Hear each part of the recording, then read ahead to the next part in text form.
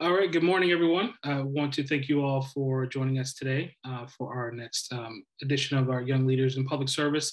I'm DeAndre Calvert, the Community Engagement Manager for the Program and Practical Policy Engagement here at the Ford School. And today we are joined by Amy Lindholm. Uh, first, I'd like to acknowledge uh, Miriam Nagarin who, uh, and Jordan Inkovaya, who will be our, our moderator for today, and Miriam, who is our administrative assistant here at P3E, but also our tech guru that will be helping behind the scenes. Uh, please note that this event is recorded.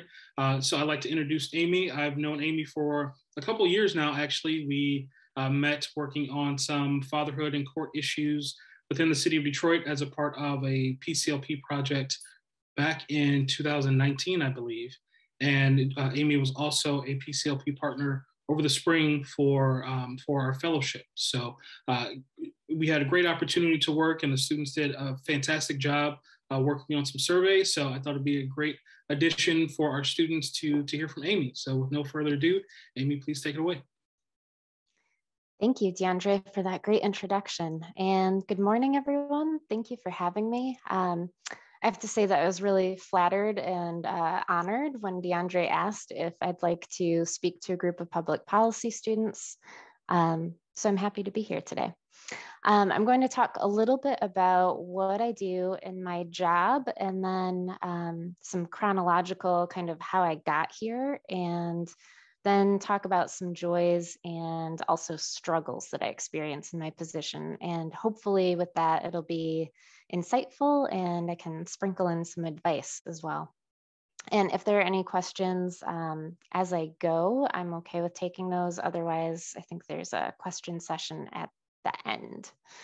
So um, my formal title is Management Analyst, and I work with the Friend of the Court Bureau at the State Court Administrative Office in Michigan. And I've been in this role a little bit over four years now. And I'm going to kind of back up and really dumb it down to explain what my position is, because I know a lot of people are sort of puzzled by this job, especially with it being kind of a policy job within the courts. So I do work for the courts at the state level. Um, friend of the court, for anyone who's not familiar, is the name in Michigan for our county offices that provide case management services for custody, parenting time, and child support issues. So, for parents who are not living together and have children, um, kind of how they work out all of those things between themselves. So, it's kind of an odd area because it's very uh, social service, social work related, but it's actually within the courts. Um, and most people are familiar with that child support aspect of friend of the court work. So for all of these county offices all across the state, all 83 counties, they all do this work and someone has to set policies and procedures for how they do their work and then also provide some like monitoring and oversight to see if they're actually doing the things they're supposed to do and how that's going and then provide technical assistance to them sometimes or management assistance. Um, we've had a lot of that going on post COVID um, or during, not post COVID, during COVID, and as it continues, because we have a lot of people leaving positions, retiring. Um, shifts because people have died and and there's just a lot of turnover happening and then people have to sort of completely learn their position new so our office um, is able to jump in and help with that. We also do, um, we develop uniform publications for use throughout the state. So for public information to understand what the office does, how it works, we provide training also to those folks across those offices. And because um, the friend of the court is actually an arm of the circuit court, um, all of those pieces end up provided by the judicial branch. So the Michigan Supreme Court created the state court administrative office to do all those things for all types of courts. And then within the state court administrative office, the friend of the court bureau does the, the work for friend of the courts. Um, so my team that I work with is pretty small. We have six analysts, so six people who are in kind of my position. There's a director, and then we have one support staff person. And most of my colleagues who are analysts are lawyers. Um, I'm, I think at this point, I'm the only one who has um, a master's in public administration. and my concentration in that was urban and regional policy and planning. And um, with that different focus, I tend to lead or kind of co lead um, different stakeholder groups that might have a lot of different types of people. And we're looking at sort of how can things change, kind of big picture. And that tends to be a little bit different from the types of assignments that my lawyer colleagues get. Not that none of them do that, but I tend to do more of that.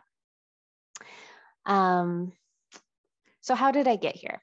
How did I end up in this role? Um, I don't have a traditional or kind of logical path to doing the work that I do today.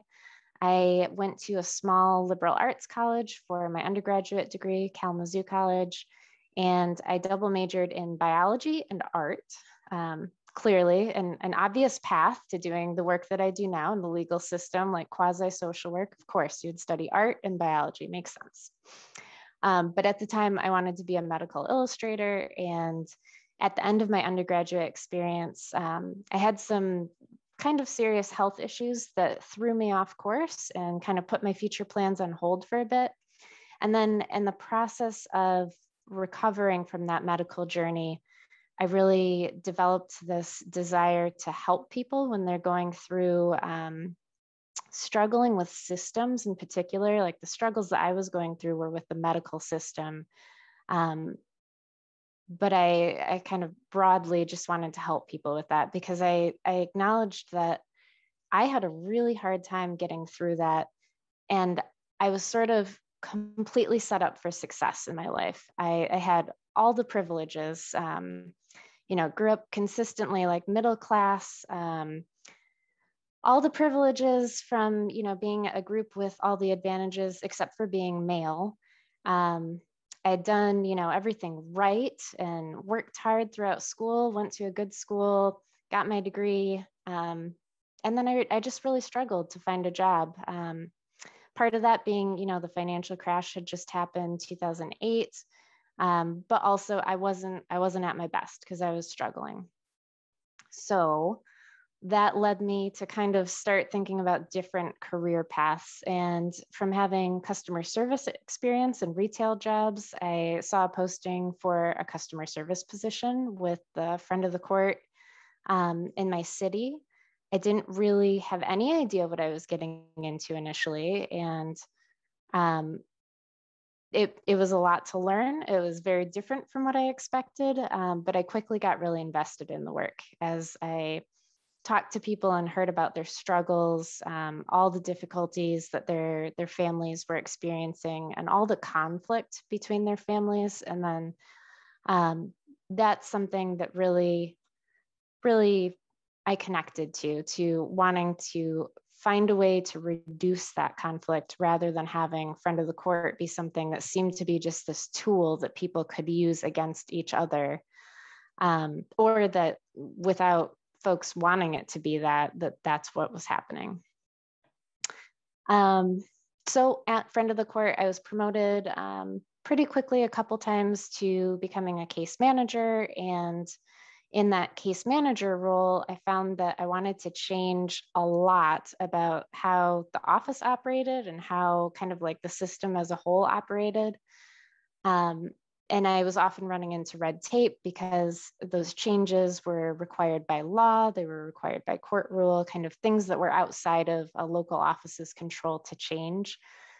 So then I went back to school, got my master's degree in public administration, and initially um, I wanted to leave the child support field completely because eh, by then I just felt like this this system is too broken. Um, there's too much that needs to change and and i'm overwhelmed by the thought of doing that so i ended up going into nonprofit work for a couple of years worked for a small international development nonprofit um, but i found myself still running into wanting to change the the rules and laws that sort of governed how things could happen so and i started looking for a policy job and um, ended up back in child support. And the way that that happened um, brings me to a point that I wanted to emphasize for all of you, and that is having connections um, in the field that you're interested in going into, that those connections can be really, really vital. I wish that I wish that wasn't the case, that it didn't seem like you had to have this personal connection to be able to get a job. And I don't think it's always necessary, but it definitely helps. Um, a lot of employers are, are working to change their hiring practices, but there's still a lot of work to be done. And I think that having that personal connection can go a really long way, even if it's just that someone tells you there's a job opening, because maybe you weren't looking, but they reached out to you and they said, Hey, there's an opening I think you might be suited for please apply. Um, so my advice is that if you think you know where you might want to be, um, get creative about how you can start making those connections. See if you know there's an opportunity for an internship, um, for a research project like the the students that that we've been working with, um, or just reach out to someone in an organization you're interested in to kind of ask them about what they do and honestly any of that kind of initiative i think would go a long way with with starting those connections being formed. Um, i got into the position that i'm in now because i when i was working at friend of the court there was a state level project to um, create a new child support calculator that the public could access. And i had heard about it volunteered to be part of that team and and then i made lasting relationships with folks at the state and they you know they recognize that oh you you think about the big picture. You're wanting to help people and this is those are qualities that we're looking for in an analyst. Um, another piece of advice that i wanted to give especially for um, women or any other groups that aren't sort of like groomed in this way that I think men, especially white men, are often groomed for leadership and advancement. Um, and that is to sell yourself and and be bold.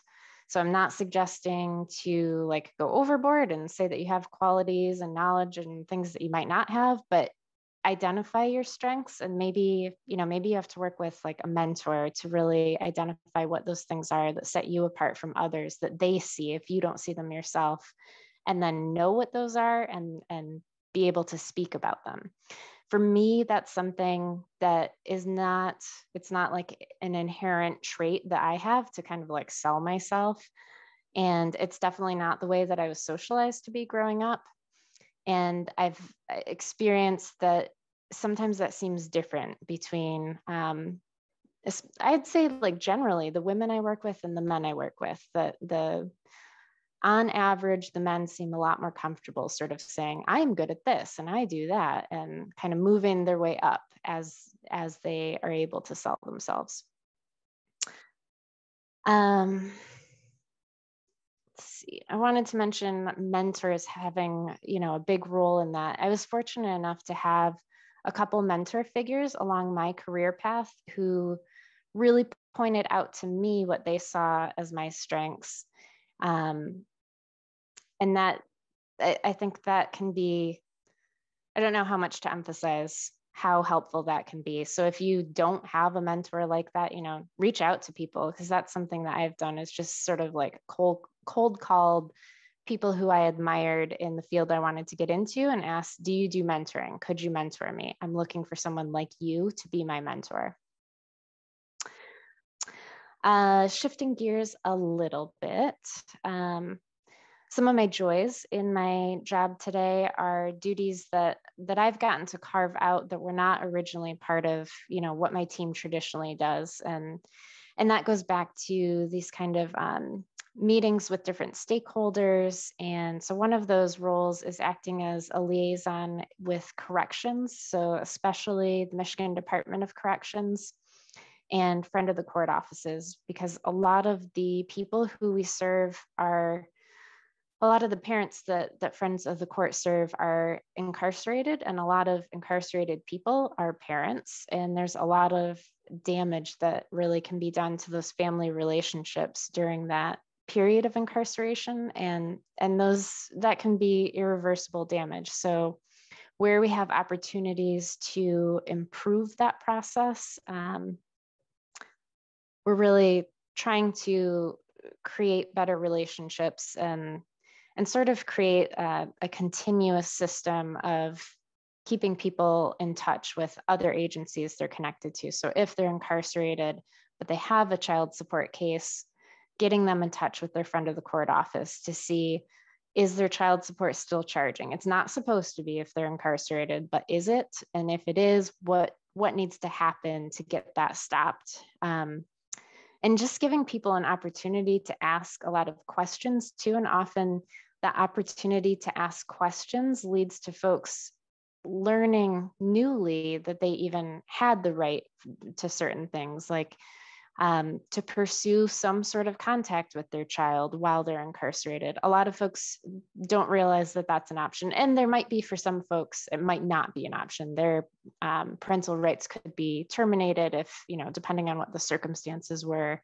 surrounding their incarceration. But for many, that's not the case. Um, and there's something they can ask for. They can pursue through the courts getting custody or parenting time arrangement, or maybe they don't need the court to get involved. They might be able to just work it out with the other parent. So that has been um, some rewarding work to to sign to sort of move things forward in that area. Another liaison role that I play is a fatherhood liaison, uh, again, between friend of the court offices and then fatherhood programs. And so DeAndre mentioned um, that's how he and I met. Um, initially, we had a grant initiated um, Michigan Action Plan for Father Involvement, is what that group is called at the state level. Um, and then, kind of at the same time or right after that group was formed, the Metro Detroit area was forming a fatherhood policy group. So today I work with both of those groups. And I really got myself into that um, by chasing down this uh, social science researcher at a conference in DC. I'd been like reading her research on fathers and child support and, you know, really really was into it, wanted to like implement some of the things that she talked about in her research. And I had seen her picture on her papers. So when I saw her walking around, I was like, oh, that's her. Oh my gosh, I have to go talk to her. And through going up and talking to her, found out that in my state, we were actually starting fatherhood work and then kind of bullied my way onto that project. so my advice there is again to just um, not be shy about making connections and telling people when you are interested in in something that you are interested and you want to be involved and often i think it works out if you just say that um let's see i'll also say in the realm of the fatherhood work um there's been i think especially for me working in that area a lot of relationship building that's been really important um, the fathers who I think most need systems change to kind of remedy the damage that has been done in their families. Um, they don't look like me. I'm a white middle class my entire life, childless woman. I work for the state. I represent the very systems that are like damaging people's lives at times.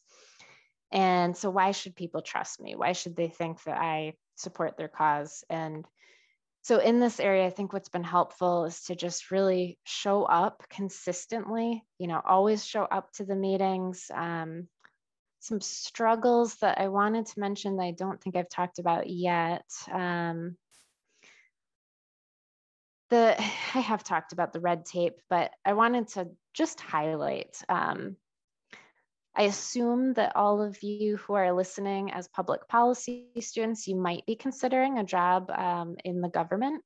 And I, I just um, caution you or, or want you to be aware that working in government with that bureaucracy can be kind of maddening, especially if you are you're going into it like passionate about making change and you want to see the results of that work. Um, it it can happen. Absolutely it can happen.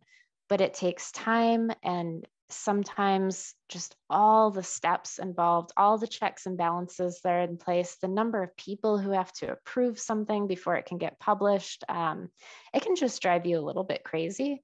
So just wanted to to put that out there that like you know keep in mind that that is still out there all of that red tape. Um, but that's not to say you shouldn't pursue increasing government efficiency and you know really keep trying to accomplish all the things that you're passionate about um, and I wanted to sort of close out what I'm talking about with a couple examples of things that I've seen um, start to change in the like four and a half years I've been in my position. Um, just in 2021, yeah, 2021, it's hard to keep track of time during COVID. Um, we published our new parenting time guideline, the Michigan parenting time guideline. So that is um, governs it recommends what should happen with parenting time for everybody in the state of Michigan. So it's intended to um, be accessible and usable for parents, but also for judges, for friend of the court workers, for attorneys, anybody who's working with folks on deciding what the time will look like that a child shares between two parents who don't live together. And a lot of um, a lot of important changes happened in, in that new release. We worked with an advisory committee with folks from all different fields to put it together. It took a long time, um, but it's finally published. And there's still more that we need to do to increase accessibility and usability. And that was something that the student group um, worked on earlier this year to get a survey out to both parents who might use the guideline and then practitioners use the guideline to kind of identify those areas. But we, we have something new that addresses a lot of changes in family structure finally. Um, just yesterday, I found out that we had a grant proposal accepted to implement a plan for doing a two generation or whole family approach to friend of the court services, which basically means thinking about the child and the parent all the time at the same time as we decide how to serve that family. And that is really that's a big shift from just being compliance driven short term driven you know you have child support that's owed did you pay it what can we do to make you pay it and not thinking about like where's that money going to come from that we're saying you need to pay right now or else so that sort of like long term view will be a huge shift and and i have been researching 2Gen and talking people's ears off about it for like at least three years now. And finally, we, we just got this grant approved to start doing work on that. So that's really exciting. Um, and yeah, the fatherhood work is the other point I wanted to make that we're finally seeing friend of the court offices, some that that might have been really opposed to considering like partnering with a fatherhood agency, being more and more interested in that and sort of understanding that they don't have a good relationship with a lot of folks that they serve and they need to be a little bit more creative and think outside the box and partner with um, folks in the community who do have better relationships to actually serve those folks better. So we're seeing that change as well. And with that i think i'll turn it over for questions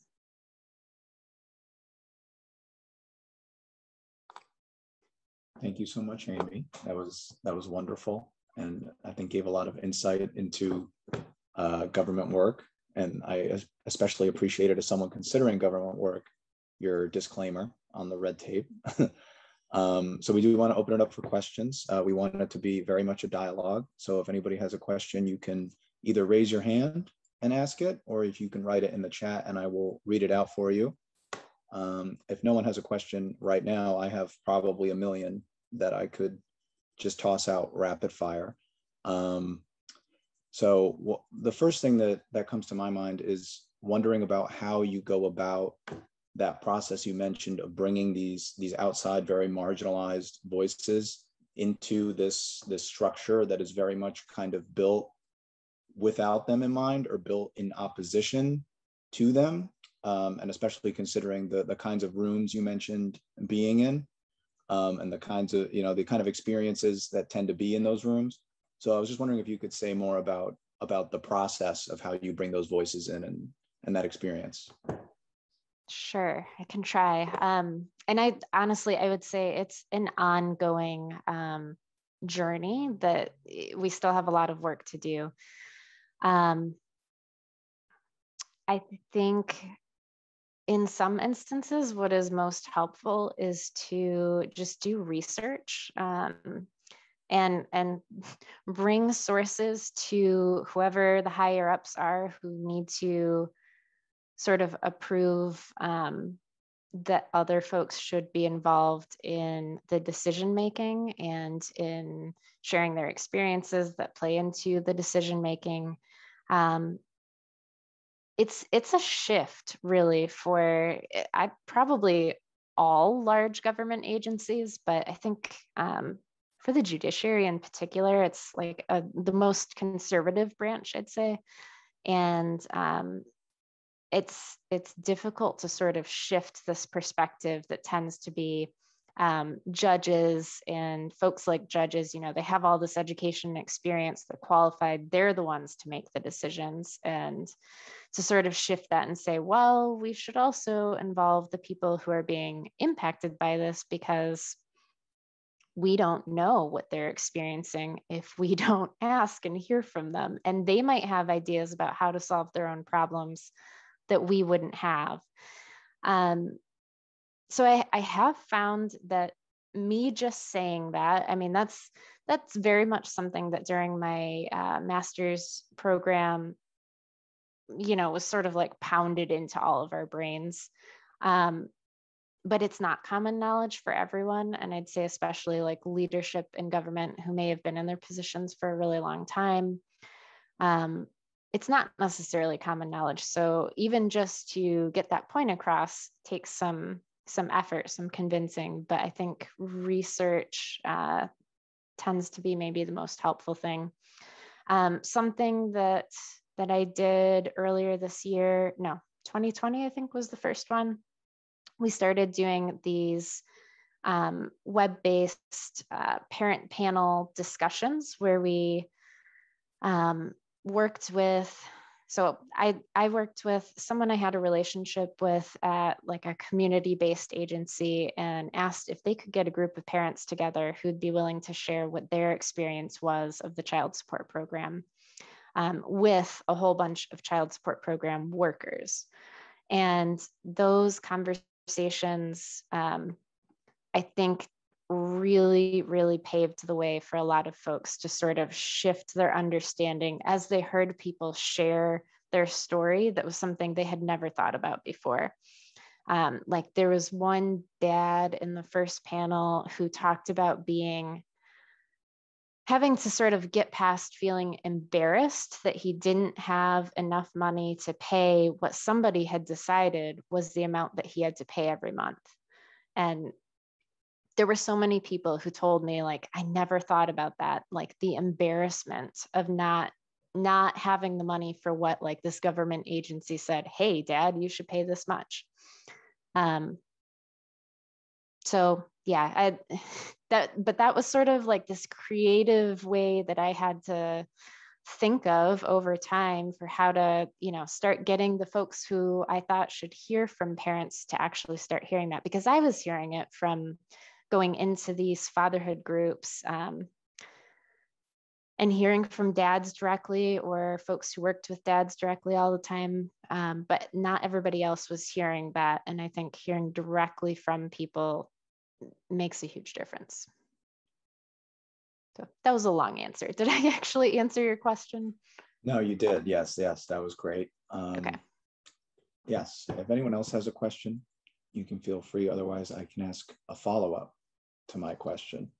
Yeah, I, will um, add to. I I don't mm-hmm. think there's like one definite path for doing that. You know, I think mm. depending mm-hmm. on your situation, it, it can be very different. So you kind of have to assess like what the needs are, what the barriers are, and and try things out. And it might not work out the first time. Yeah.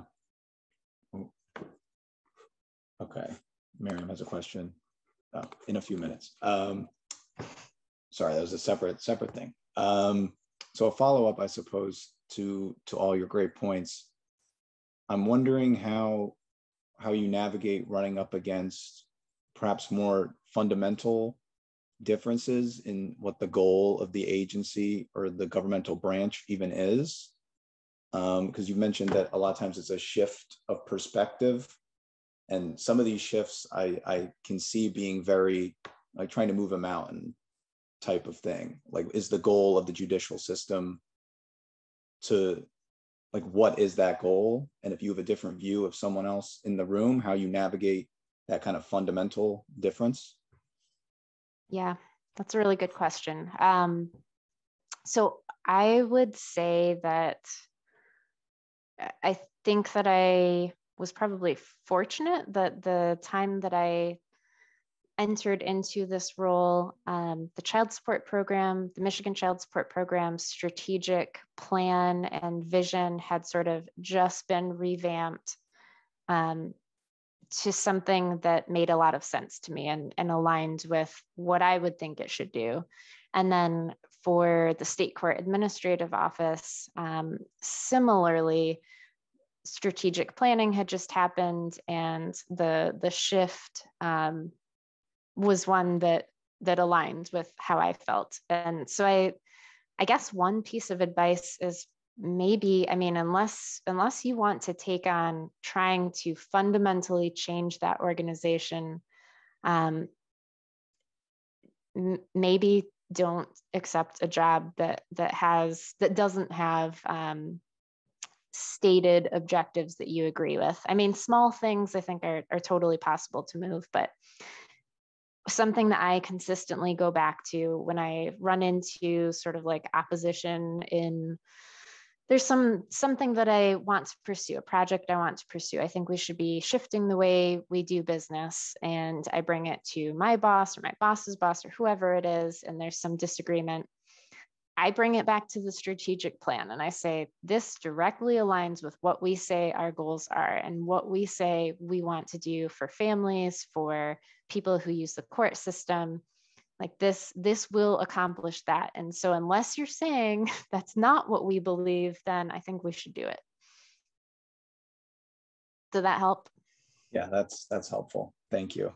Yeah, um, no problem. Miriam, you you had your hand up. Yes, I actually um, have a, a, question. So um, it, it's really impressive. Um, just just through hearing your your journey, it was really impressive to to see how you you know moved from position to position. And I wanted to know, I guess, it seemed a few things, a few a few uh, few thoughts. That it's definitely good to have mentors. It's good to have an elevator pitch especially when you're when you're trying to sell yourself as you said before um, so one question i had was you know how did you go about finding the right people to talk to or even the right the most helpful mentors? Like how did you go about finding those people to help you? Yeah um, great question. So one one of my like first really important mentors in in my sort of new career path that i'm now on um, just happened to be a supervisor who i interviewed you know i interviewed for a a position and she was the supervisor and she was someone who sort of just recognized my strengths. As i would come with questions and i would say why is this like this? Can't we do it differently? This is not efficient or you know this is not serving people well or the language that we use that's people don't know what that means. Can't we change our forms? Um, and she just happened to be someone who was on the same page with that, who recognized that I was asking really good questions, I was willing to do the work, and then would sort of reflect that back to me. Um, so that that I would say was just luck. I don't think I sought that out. Um, but also I, you know, I wasn't afraid to to say what I wanted to change. And and that worked in my favor by sort of speaking up and saying, I, I see an opportunity for change here. Um, another sort of important mentor that I've had the last couple years. Um, she is the uh, the director of the Michigan Child Support Program, and she's a woman. She's a white woman. She she has like qualities I would say I could relate to, and I knew she started in her position relatively young, and I was sort of struggling with being in spaces where it seemed like I felt like I wasn't always respected as much as other people. Like it was it was hard to get people to listen to me. So I was seeking out a mentor who I thought maybe had struggled with similar things before. I didn't know for sure. And I just reached out to her and and said those things and asked, you know, if she would be willing to mentor me. And it turned out she had mentored a lot of people before and sort of had like such a full mentoring plate that she ended up getting a group of women together to um, have us talk to each other and then like see if we could also form other mentoring relationships to sort of share the the mentoring burden if you will. Actually building off off of that um, how do you delegate? Because you you know you have a lot of tasks that you have to take care of. How do you delegate some of the things that you that you need to take care of? Um, without feeling that you have to do it all basically because i think sometimes women especially take on a lot. And so you know how do you delegate that well so that you can get your job done but also feel like you've accomplished your goals basically? Yeah. So full transparency this is definitely an area where um, I could do better, and I and I know that. And there are, and in some of the like the fatherhood projects that I work on, I I do take on too much. Um, that is definitely true. But I also um, am getting more and more comfortable with just showing up to the meeting and saying, "Hey, I'm chair of this, but it's too much for me. I need a co-chair. Who wants to step up? Someone needs to step up. I can't do it all." Um, and and that's i mean that's a journey for me to get better and better at at saying those things and and identifying where um, i need someone else to step in i'd love to take on more interns and and delegate more things to them i did take in take on an intern for um, a task. I'm currently staffing the Michigan Task Force on Forensic Science, which is like totally outside of what I normally do, but they needed someone to support the Chief Justice in that work because she's the chair of that. Um, and, and they identified that I work with a lot of stakeholder groups, so maybe that would be something I'd be good at. And um, I did end up taking on an intern for that work. And, and so I have been able to delegate a lot of things to that intern.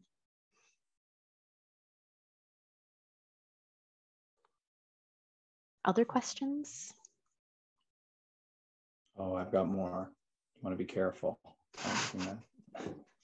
Uh, I am curious about your kind of two aspects of your nonprofit work prior to or in between your government work. Yeah. Um, firstly, is how you see the difference in like organizationally between working in a nonprofit, especially a, a small one, um, with the organizational challenges that you've already identified of working with the government. Um, and I'm also curious because you're the nonprofit you worked for was focused on women and girls issues. Um, and now you're working with fathers. And I was curious about the the differences and, and similarities that you see in working with these different populations. Sure. Big questions. really good questions, but big questions. I'm a big picture person. yeah. Um, let's see the dynamics so and i was at a very small um, nonprofit we had lots of volunteers but like very very few paid staff people um, so the the organizational structure the power structure the sort of like formal rules and procedures for how things happened drastically different i mean so different i i did you know nearly everything at this small nonprofit where I was like mid level management, which basically meant I was managing all the volunteers and then sort of managing our couple other paid folks. But um, I mean, I was doing marketing, I was doing fundraising, I was doing the program management. Um, I redesigned a website. I, I didn't know how to do that. We went, I mean, everything, strategic planning, um, it's very, very different working for a large um, government organization with so many defined like divisions that have their duties that are exactly what they do. And I think just recently, this like stay in your lane um, terminology sort of like came back because I don't remember where it came from exactly. But with strategic planning, they identified these different lanes like education and whatever else. Um, so that that aspect is quite different where it's very much like this is your job and only this is your job. And if there's something else that you want to do that's outside of your job you need to sort of ask for permission and um, maybe maybe you don't get approved to do this other thing. Um, there's a lot more you know being being careful about what information you share um, and who you share it with. Um, yeah, lot, lots of differences there. I don't know if I touched on specifically the things you were wondering. Did I? Yeah. Okay. Yeah, for sure. And yeah, and then um, differences and similarities working with um, women and girls in an organization that that is attempting to serve women and girls versus working with fathers and organizations that serve fathers. Um, honestly, there are a lot of similarities because unfortunately, or I, I, I don't know if it's necessarily universally agreed upon as unfortunately, but a lot of the ways that in um, developing countries, the organization I was working for was trying to empower women in education, um, financial empowerment, and healthcare those are some of the same things that a lot of fathers here are struggling with in some of the same ways we're trying to empower fathers. And really it's for me it's it's all about making families as a whole stronger um, setting kids up for success in their development to have like this healthy environment to grow up in. And then um, overall community health and strength in the long term. So even though you know one was fathers and one was mothers um, a lot of similarities. Thank you. That's very insightful. Are there any other questions floating around the audience? I, I just have one. Um, you know, it, as students are thinking about going into uh, into working for the government, and you know, you've talked about uh, red tape a couple times. What are some of your kind of personal slash professional coping mechanisms to deal with that red tape. You know, I've worked for city government and I work for the state, and I just know, especially at the state level, the process can be slow. So how do you kind of woosah and and and and and and keep uh, keep encouraged while you're waiting for uh, some of those things to pass? Yeah, that's a good question. Sometimes I wish somebody else would give me the answer to that. Um, I mean, being able to vent to folks who can relate to it, I think is is always helpful.